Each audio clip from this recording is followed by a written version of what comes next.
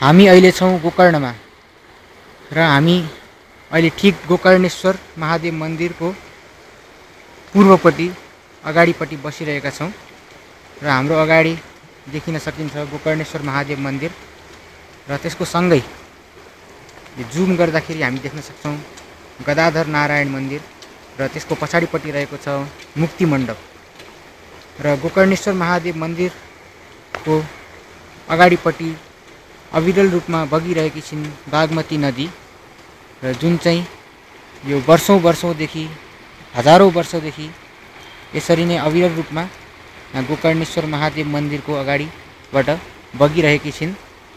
र बागमती नदीको कुरा गर्नु पर्दाखेरि यो नदी बागद्वारबाट उत्पन्न भएको मानिन्छ र यसको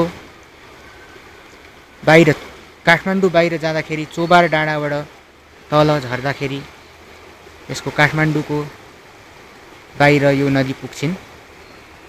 र यो काठमाडौँको बाहिर यो नदी पुगुन्जेलसम्म अनेकौँ धार्मिक तीर्थस्थलहरू पार गर्दै यो नदी चाहिँ बहन्छन्। र अहिले हामी गोकर्णेश्वर महादेव मन्दिरमा छौँ जुन चाहिँ उत्तर गयाको नामले पनि प्रचलित छ। र यो क्षेत्र एकदम पुण्य क्षेत्र हो र हाम्रो पछाडि देख्न सक्छौँ रामकुण्ड। यहाँ माथिपट्टि छ। र यसमा मूलको त्यसलाई मूल बनाइएको छ र तलपट्टि र ट्याङ्कीको मार्फत चाहिँ यो अविरल बगिरहने धारा पनि हामी देख्न सक्छौँ।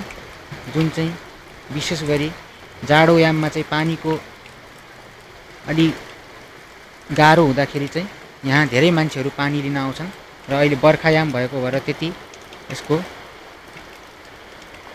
चलन छैन। र हामी अगाडि देख्न सक्छौँ घाट नवनिर्मित घाटहरू र यहाँ हाम्रो पुरानो घाट चाहिँ हाम्रो अगाडि सामुन्ने यता देख्न सक्छौँ जुन चाहिँ मन्दिरकै तलपट्टि रहेको छ। यो चाहिँ घाट पुरानो घाट र यो सँगै रहेको नवनिर्मित घाटहरू। धन्यवाद।